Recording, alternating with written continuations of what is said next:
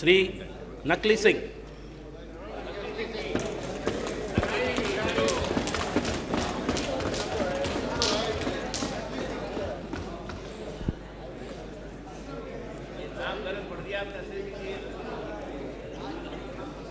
मैं जो लोकसभा का सदस्य चुना गया हूँ,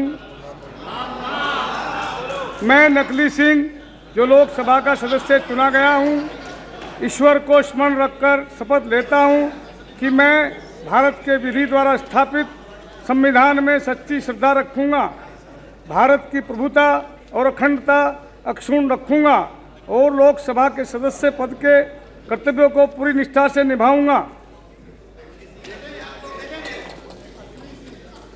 श्री हरपाल सिंह साथी